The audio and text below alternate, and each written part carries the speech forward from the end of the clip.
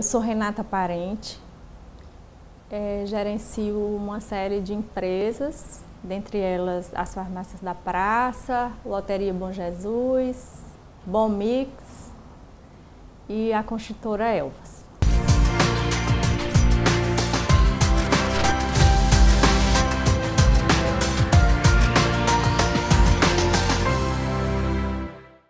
Eu e meu esposo somos engenheiros de formação e em um dado momento nós resolvemos que iríamos empreender. Desde o primeiro passo da concepção da nossa primeira empresa, a gente sempre buscou essa parceria com o SENAC, no sentido de nos orientar, de nos capacitar porque era difícil para dois engenheiros é, começarem a, de repente, entender de gestão né, financeira, de compras de pessoas. E dali a gente começou é, a ampliar a nossa visão do negócio.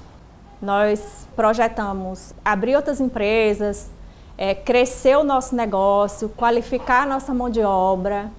Hoje nós somos seis lojas tivemos uma grande evolução, imensa, enorme, sobretudo é, quando a gente iniciou essa gestão de pessoas. Depois de 20 anos empreendendo, é, o nosso maior patrimônio são os nossos colaboradores. Motivo de muito orgulho para a gente, porque foi uma construção, não foi fácil pegar aquela pessoa e fazer com que ela entendesse de uma amplitude de, de coisas que envolvia e que o nosso negócio precisava. Às vezes, quando a gente chegava para dizer, olha, agora nós vamos fazer assim, ah, Renata, mas a gente é uma empresa pequena do interior do estado. Não, a gente nunca pensou assim. Não era por estar distante de grandes centros que eu ia deixar de ter é, uma loja com um layout atualizado, que eu ia deixar de oferecer um, o mesmo produto que estava em qualquer outro lugar do mundo.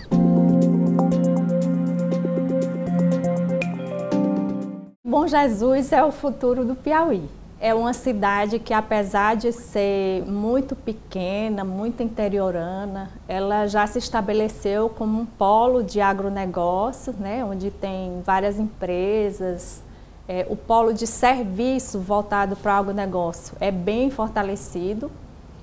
Ela tem um polo educacional forte e a gente já tem mais projetos para Bom Jesus. Né? A gente já atua em Corrente, Gilboés, Cristino Castro, mas no momento o nosso foco é ampliar o nosso negócio em Bom Jesus.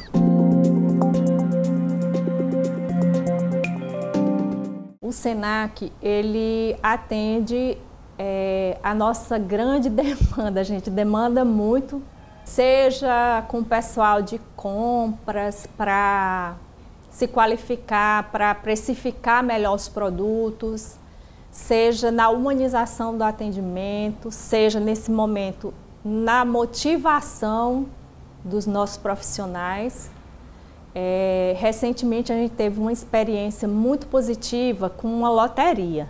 É até difícil assim a gente dizer, porque concessões normalmente eles não se preocupam em oferecer um serviço de qualidade.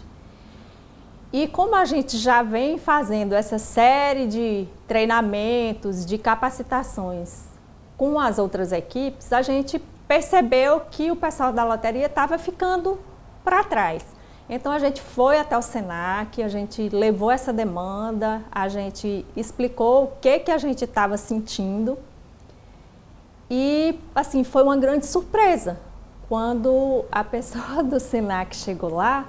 É, a gente teve que a gerente nem pôde participar do treinamento porque o problema da qualidade do serviço que a gente estava prestando não eram os colaboradores com a empresa, eram os colaboradores com os clientes.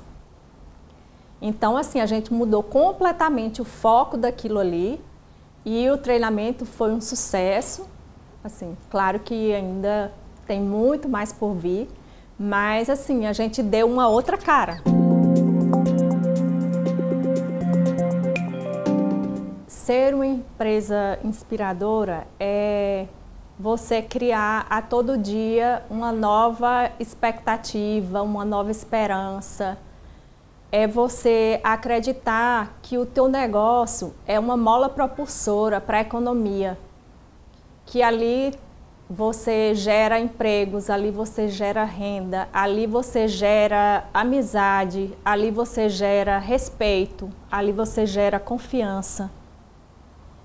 E é assim que a gente tenta ser. A gente tenta inspirar os que nos rodeiam, as pessoas que convivem com a gente, seja colaborador, seja fornecedor.